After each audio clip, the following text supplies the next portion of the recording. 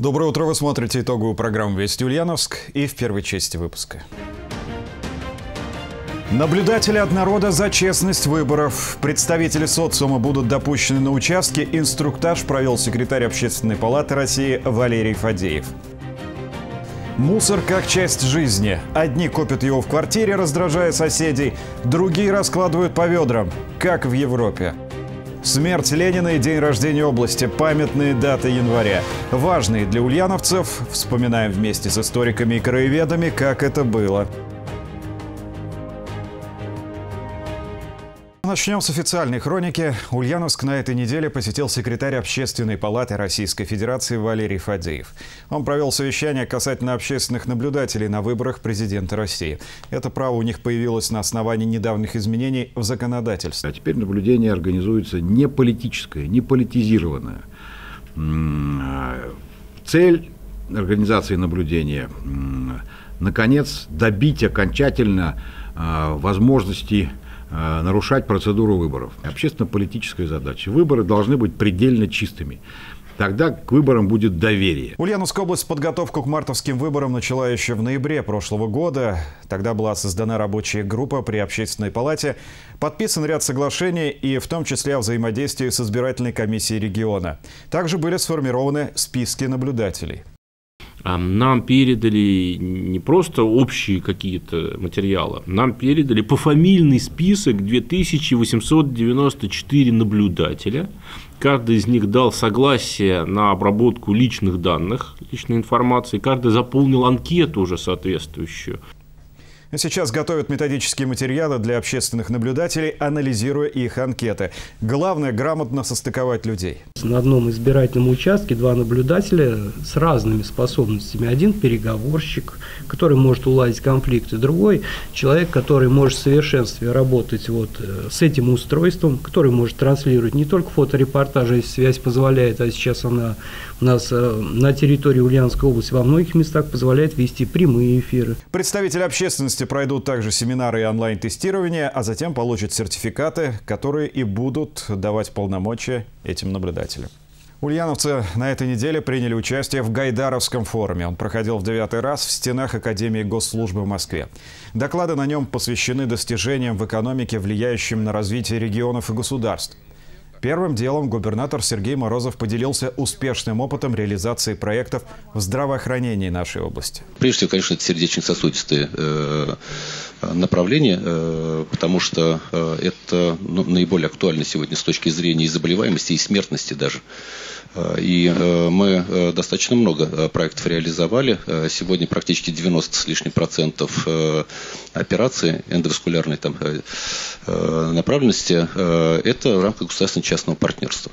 Второе направление – это онкология. И буквально вот позавчера, в пятницу, мы подписали очередное в рамках государственно-частного партнерства соглашение о больших инвестициях э, в области онкологических заболеваний, э, лечения онкологических заболеваний. Э, и уже к концу этого года мы построим большой медицинский центр, который будет позволять нам как минимум порядка 600 тысяч человек оказывать качественную медицинскую помощь на основе современного оборудования. Инвестиции по линии здравоохранения в наш регион оцениваются экспертами в 10 миллиардов рублей. Министр здравоохранения России Вероника Скворцова поблагодарила губернатора губернатора за активную позицию и отметила нашу область. Это огромный, так сказать, проект, инновационный проект возобновляемой энергетики, который за собой потащил в том числе и большой проект, связанный с тепличной экономикой.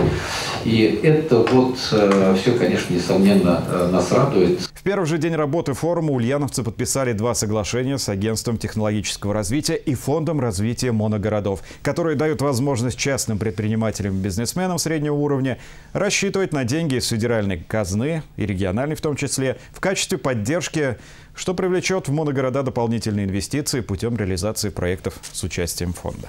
Две недели остается до Всероссийского форума «Новая кооперация», который пройдет в Ульяновске. В подготовительной стадии к нему состоялась встреча молодых предпринимателей с председателем Совета Центра Союза Дмитрием Зубовым. Начинающие бизнесмены захватили на семинар свои разработки и презентации стартапов. Лучшие проекты получат поддержку Союза и продвижение бренда за пределами региона. Посмотрите, сколько молодых, горящих глаз – сколько энтузиазма и сколько молодежь уже успела сделать. Им нужно помочь, объединить усилия и как, чтобы они в жизнь уже вступили самостоятельными предпринимателями, бизнесменами, людьми, которые любят не только бизнес, но любят страну, самое главное, и народу создают уникальную продукцию. По словам Зубова, задача предстоящего форума – привлечь в кооперацию молодых активных людей, которые еще не определились с целями и ищут ориентиры. Ульяновская область, по мнению корифея бизнеса, подходит для этого как нельзя лучше. Ульяновская область не потому, что я в Ульяновской области сейчас нахожусь, а честно скажу, что лидер в этом направлении. Здесь очень сильная кооперация, очень активная, поддерживает Сергей Иванович Морозов, губернатор. И самое главное, не только он, мы сейчас работаем со всеми руководителями региона, это просто как единая команда. У нас э, вот эти кооперативы молодежные растут как грибы в Ульяновской области в разных сферах. На февральский форум заявлены 800 представителей региональных союзов кооперации страны и около 500 студентов.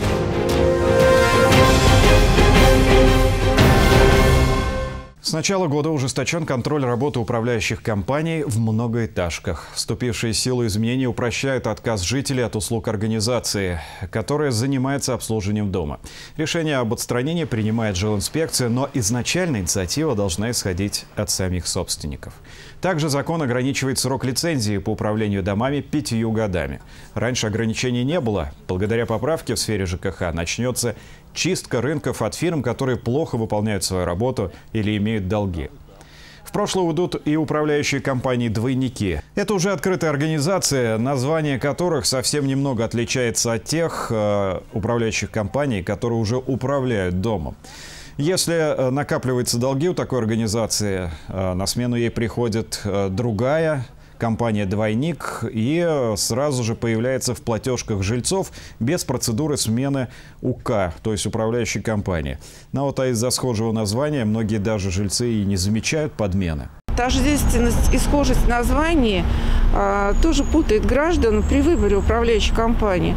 А, не буду называть название, но у нас таких лицензиатов а, примерно около 9 десятков.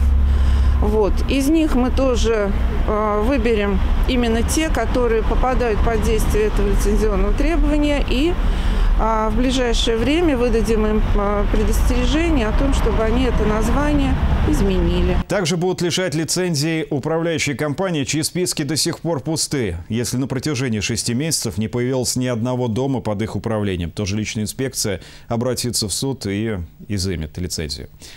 Право обслуживать дома могут потерять немало фирм в области, а их уже около 50. Большинство собственников поддерживают поправки в жилищном кодексе, однако считают, что до таких крайностей можно не доводить, если управляющая компания будет проявлять внимание и своевременно решать проблемы жителей. А мы же привыкли, как старые закалки люди. К нам надо подойти, поговорить. Мы рассказали все свои невзгоды, вот, показали, как работали раньше, как сделали капитальный ремонт на доме.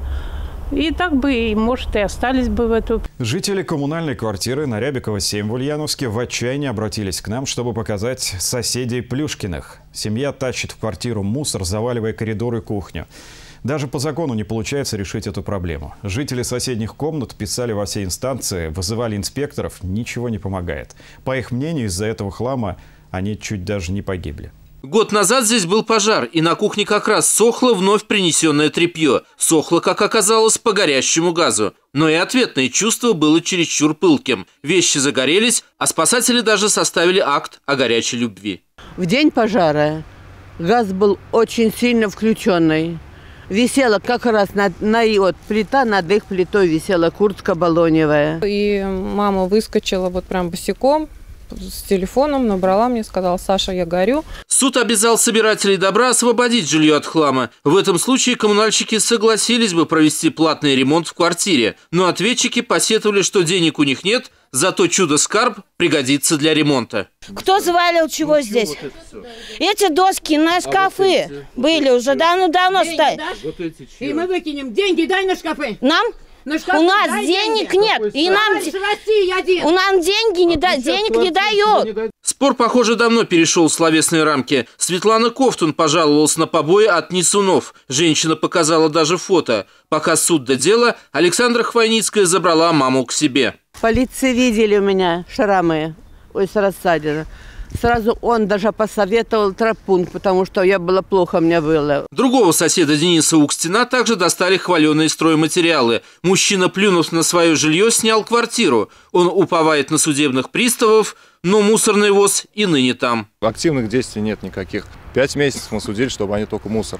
И в итоге законные требования так и не были выполнены. Судебные приставы не раз штрафовали Плюшкиных, сейчас им светит очередное денежное взыскание. Если и оно не повлияет, то квартирный хлам вывезет организация, либо бесплатно, либо за деньги. Ее найдут приставы. В данном случае судебные приставы будут сделать запрос для выделения денежных средств из федерального бюджета. Но любителям хлама, похоже, все нипочем. Вот и сейчас свою коммуналку они превратили в будку гласности. К микрофону они прорвались, но говорили только не об узниках совести. Были коробки сложенные, а их Ковтун специально разорвала и раскидала по всей квартире. Раздельный мусор – европейский уровень городской культуры. Будет ли так в России? Помои в одно ведро, хлам в другое. Посмотрим. В Ульяновске так уже, по крайней мере, делают на одном из полигонов. Весь поступающий мусор здесь систематизирует. Отдельно прозрачное и цветное стекло, картон, бумага разных сортов, пластик. А отдельно помои, которые приходят на эту свалку. На полигоне во вторичную обработку уходят 160 тысяч тонн мусора, но отходы перемешаны с пищевыми остатками, что мешает иногда сортировке и существенно влияет на экологию окружающей среды. Уже есть требования законодательства для того, чтобы жители разделяли эти отходы. Конечно, это задача непростая, это в том числе и э, обучение людей, понимание, для чего это необходимо, изменение некого сознательного подхода к этому. Эту инфраструктуру мы также создаем. У нас есть э, в городе контейнеры для раздельного сбора. Конечно, это определенным образом облегчает задачу. Но при этом мировой опыт тоже говорит о том, что, к сожалению, 100% добиться этого результата невозможно. Пока сортировку мусора ведут только вот на этом полигоне, за год число комбинатов подобных планируют увеличить в пять раз. Спрос на обработанное вторсырье большой. Кроме этого, на предприятии вполне серьезно говорят о создании музея ненужных вещей. Среди отходов часто попадаются старые и новые телефоны, устаревшие, но работающие фотоаппараты и даже балалайку как-то нашли с натянутыми струнами. Ну, пока это все на уровне экспериментов, но уже в этом году идея раздельного мусора станет требованием по федеральному закону. На полигонах нельзя будет закапывать и сжигать бумагу, картон и автопокрышки, а с 2021 года и бытовую технику. Горожан покупать два ведра никто, конечно, не заставит, но со временем это станет нормой, уверены разработчики проекта.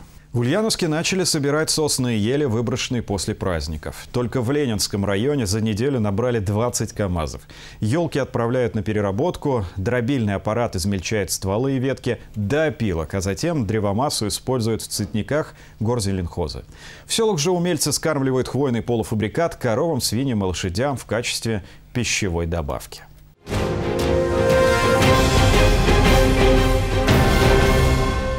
Более 50 тысяч туристов выбрали Ульяновскую область для путешествий в новогодние каникулы. Среди самых посещаемых объектов – музей гражданской авиации, ленинские места, Симбирская гимназия, областной художественный музей и галерея Пластова. В среднем один турист находился в области три дня и потратил 10 тысяч рублей. Таким образом, в области остались, только послушайте, полмиллиарда рублей. Внушительные цифры – это только за каникулы. Поэтому развитие туризма правительство региона считает приоритетным направлением в крае, ведь оно способствует привлечению дополнительных средств и формированию положительного имиджа области. Ульяновск посетила делегация из Вьетнама на этой неделе. Первым делом гости встретились с коллегами из нашего регионального правительства, чтобы договориться о сотрудничестве в различных сферах. Ну, вот как раз, например, в туризме. Жители Социалистической Республики хотят видеть ленинские места и артефакты советской эпохи, а в Ульяновске уже разработан красный маршрут, полюбившийся китайцам. Теперь по нему будут путешествовать и их соседи-вьетнамцы. Они готовы отправить группы уже в этом году. Сегодня день памяти Владимира Ильича Ульянова. Ленин скончался 21 января 1924 года в Горках в 6 часов 50 минут. Известие это потрясло мир. И не в переносном смысле. Это была такая всеобщая скорбь, потому что все-таки абсолютное большинство э, жителей страны составляли люди, которые э, были, поддерживали э, в, в тот период и саму революцию, и саму власть в тот период. Поэтому, естественно, и реакция была, и даже здесь вот у нас в материалах представлена реакция бывшего патриарха в России э, в тот период э, Тихона, который тоже высказывал соболезнования по этому поводу, говоря о том, что он, насколько он знает, Владимира Ильича Ленина, это был один из достойных людей, так оценивал он. Симбиряне в этот же день организовали траурную делегацию в Москву, а спустя месяц стали просить правительство страны переименовать город в честь земляка. Весной того же года просьба трудящихся Симбирска была рассмотрена, и в мае 24 года на карте появился Ульяновск. А вот область Ульяновская возникла позже, в период Великой Отечественной войны. Причем из 13 новых областей наша была сформирована самой первой. Что еще впечатляет, дата подписания документа 19 января. Это крещение, а именно в этот момент в эвакуации в Ульяновске находилась Московская Патриархия и будущий глава Русской Православной Церкви Сергий.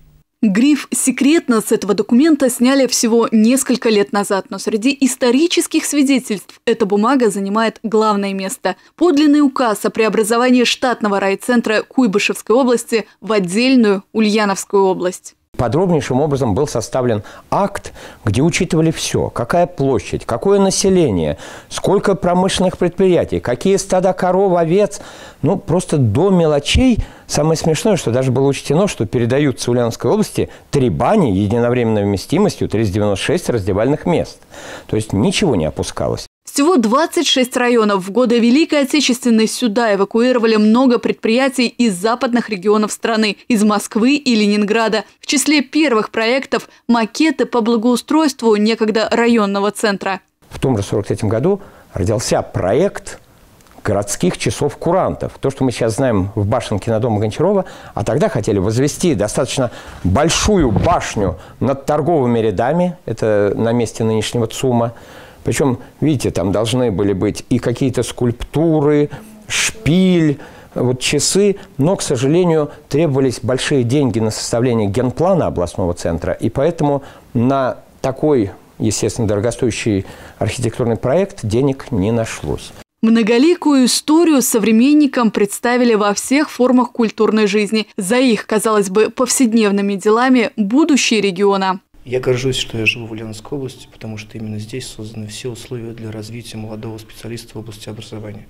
Благодаря а, моим, моему коллективу, коллективу моей школы, я сумел завоевать много наград в профессиональных конкурсах. Практически полную свою э, полноценную свою жизнь отдал развитию молочной отрасли в Ульяновской области. Привожу самые лучшие проекты и внедряю на своей земле, потому что это мой родной край, малые моя родина. Я бы хотел, чтобы мои внуки и правнуки в будущем, чтобы жили на этой земле, работали и никуда не уезжали. Много за границей побывал, но вот на сегодняшний день таких условий для развития спорта, как в Ульяновске, нет нигде в России. Всему, чему я научился, какие получил знания, я получил здесь, на Ульяновской земле. И стараюсь их передать своим детям. Я счастлив, что уже более 50 лет тружусь в этом городе, в этом театре, в этой области. Здесь я сформировался как актер, как личность, как гражданин. Достойных современников в этот юбилейный день будут чествовать региональные власти. В день рождения области это уже традиция. Государственными и областными наградами отметят за достойный труд и активную общественную позицию понедельник утром загорелся деревянный дом на Рылеева 34, который рядом с БСМП. Памятник архитектуры был офисным зданием, и на момент происшествия там находились три человека. Все они спасены. Огонь тушили 45 сотрудников МЧС, а пожару был присвоен статус повышенной сложности. Пламя удалось погасить спустя несколько часов. Соседние здания не пострадали, а причина пожара устанавливается и идет по счет ущерба. Ульяновский священник Константин Пашин отправился на 6 лет в колонию за педофильское порно. Судебное заседание проходило с закрытыми дверями. Страна обвинения доказала, что бывший сотрудник газеты «Православный Симбирск» распространял материалы с обнаженными детскими телами. Закон за это карает строго. Закон Божий, судя по Библии, предлагает кару пострашнее. Студенты летного вуза выложили видео в интернет, снято ими в общежитии. Ролик создан в стиле известного клипа, который, видимо, попытались пародировать реагировать курсанты. Творчество попало в топ новостей страны, вызвав общественный резонанс. Часть граждан осудили поступок, другая часть посчитала видео непримечательным и не стоящим даже внимания. В ВУЗе в этот день э, был устроен разбор полетов. Ректор заявил, что курсанты оскорбили честь летного вуза и опозорили форму. О санкциях в отношении залетчиков неизвестно. В данный момент ребята продолжают учиться.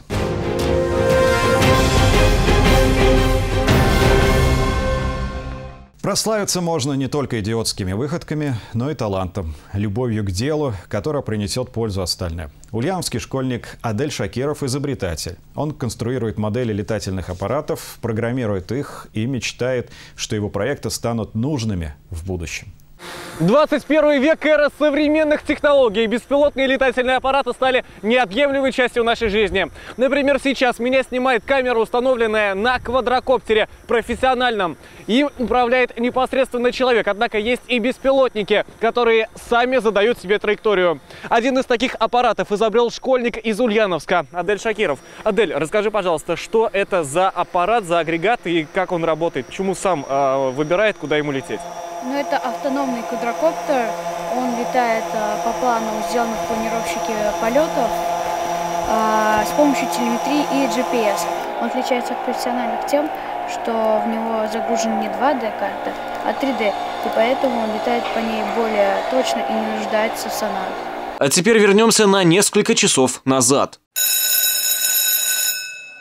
Заволжский район, 72-я школа. В классе Аделя начинается урок физики. Учитель проводит устный опрос. В это время кто-то традиционно мечтает стать невидимкой, другие судорожно повторяют пройденный материал. А вот юный инженер, не переставая, тянет руку искренне переживает, если преподаватель в очередной раз дает слово одноклассникам. Интерес к точной науке, признается Наталья Духренкова, у Аделя заприметила с самого начала – Ребенок особенный, но знать программу должен каждый. От этого и не получается устроить бенефис. Здесь требуется индивидуальный подход. Необходимо э, выявить такого ребенка и э, направить э, в нужном направлении потому что такие дети могут потеряться и просто не найти себя в будущем. Это задача не столько педагогов, сколько родителей. Отец Аделя перечисляет увлечение сына. В свои 13, помимо инжиниринга, он занимается плаванием, посещает дополнительные занятия по школьным предметам, занимается в музыкальной студии. Весь этот список парень выбрал сам. Главная поддержка то есть, если он направляет, э, выбрал свой интерес в это направление, да, то есть пусть он там шагает, у меня это больше получится, если я буду свое навязывать, у меня не будет интереса. В лаборатории, так Адель называет свою комнату, также есть микрофон для записи вокала, пульт диджея и синтезатор. свободное время семиклассник посвящает музыке.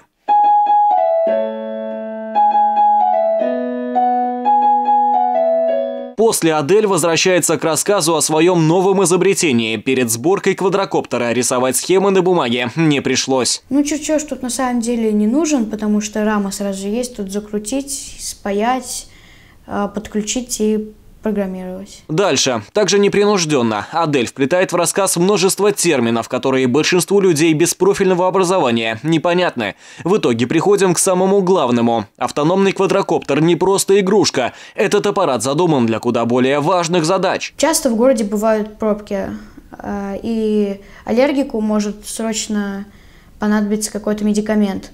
Скоро может не успеть. Тогда медикамент загрузят в коптер, и он долетит непосредственно до больного. Грузоподъемности хватает. После подробного рассказа об агрегате выходим в поле испытать квадрокоптер. Перед запуском модель делится мыслями насчет нашумевшего закона об обязательной регистрации дронов. Отмечает, что его изобретение не превышает установленную для свободных полетов массу. А в будущем, возможно, как раз эти пункты появятся, я считаю, но слежение за коптерами будет жестче. То есть летать можно? Пока да. После недолгой подготовки дрон поднимается в небо. Сегодня Адель взял управление в свои руки. Процесс автономного полета необходимо доработать. А это еще череда испытаний, к которым семиклассник из Ульяновска готовится не первый месяц. В 21-й школе прошел этнический марафон. Ученики надевали национальные уборы народов по Волжье. На переменах рассказывали одноклассникам о традициях и укладе этносов Симбирска. Было интерактивно и познавательно.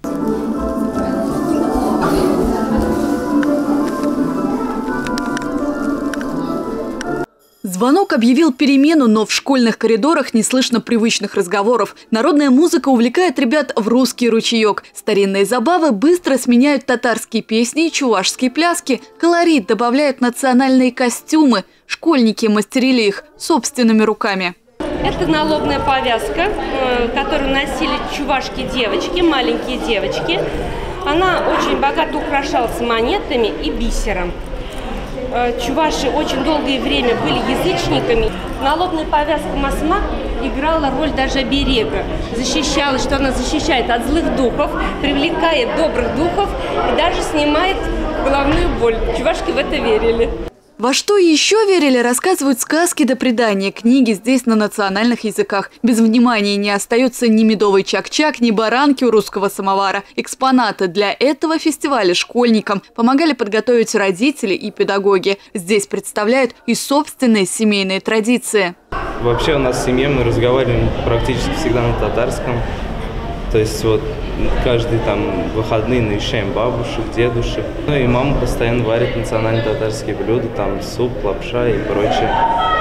Это и чак-чак, перемяч, печ-печмаки и все. Ну да, мама у меня очень гостеприимная, то есть вот даже друг, когда приходит ко мне, он не остается не голодным. Наша школа, так же как и наша Ульяновская область, многонациональна. У нас учатся и русские, и татары, и чуваши, множество национальностей. И мы стараемся соблюдать традиции всех народов, поддерживать и изучать традиции. Исторические квесты, фестивали, творческие встречи, почти полторы тысячи мероприятий в преддверии юбилея Ульяновской области. Каждый день этого марафона под новым девизом. Это узнаваемые строчки гимна 73-го региона. Основная задача, чтобы ребята не только вспомнили историю Ульяновской области, но и поняли, что они являются частью нашей области, частью нашей малой родины, и э, представили себя в будущем, то, что они могут сделать для своей области. А потому финалом в этом большом историческом марафоне станут встречи с успешными и популярными современниками. Это спортсмены, бизнесмены, творческая интеллигенция, те, чей успех стал основой процветания Ульяновского региона. Кристина Агафонова, Алексей Прохоров. Вести. Ульяновск. В Ульяновске завершился 10-й юбилейный фестиваль «Рождественская звезда». Участие в нем приняли 3000 конкурсантов, но в финал попали не все. Победителей и призеров награждали в Центре детского творчества номер 3. Номинации самые разные – вокал, инструментальное творчество, хореография и художественное слово. Отбирали даже лучшую компьютерную презентацию. Галоконцерт был теплым и торжественным, соответствующий своему названию. В пятницу православные христиане отметили крещение. По сложившейся традиции в прорубях, конечно, Церковь, правда, не поощряет эту забаву. А вот в храмах прошли торжественные службы, священники осветили воду и благословили прихожан. Ночь прошла тихо и без происшествий. Буквально за несколько дней до крещения температура воздуха была достаточно теплой для середины января. Спасателям даже пришлось дополнительно наращивать лед возле Иордании для безопасности тех, кто придет на крещение.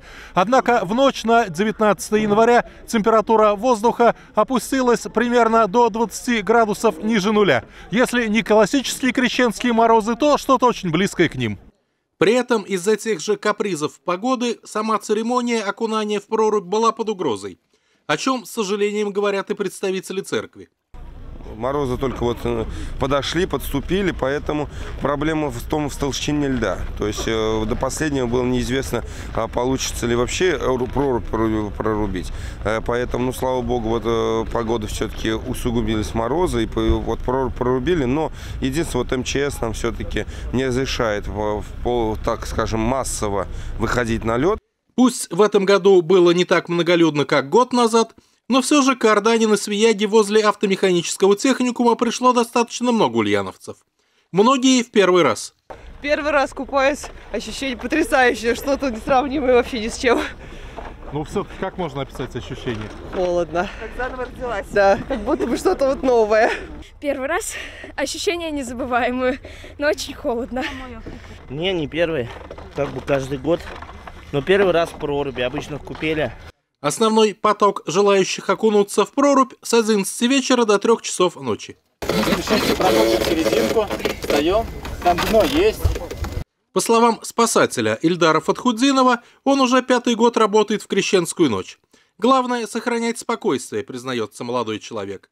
А еще нужно быть доброжелательным к людям, поддерживать их и подбадривать. Проконтролировать сам процесс, и чтобы люди, если у кого-то сердце, может быть, еще что-нибудь, какие-то болезни, и чтобы все было правильно, аккуратно. Другое популярное место крещенских купаний на Свияге возле госуниверситета – Здесь предлагают горячий чай, разводят на берегу костер, играет музыка и много молодежи. Все же студенческие общежития рядом. Иностранный студент, вооруженный мобильным телефоном, судя по всему, ведет трансляцию в сеть интернет о необычной для него русской традиции. К проруби же здесь подходят в том числе и любители холодового плавания, которые на этом месте обычно и проводят свои занятия. Зима окунаюсь постоянно, потому что я морж, а в крещении особенно окунание – очищение души и тела. И ощущения необычные. Купание необычное, несравнимое с каждодневным нашим купанием. В храмах же после того, как воду осветили, за ней сразу выстраивается очередь. У верующих к крещенской воде особое отношение. Ее употребляют, как правило, натощак. На этом все. Вы смотрели итоговую программу «Вести Ульяновск». Увидимся в следующее воскресенье в это же время на Россия-1. До свидания.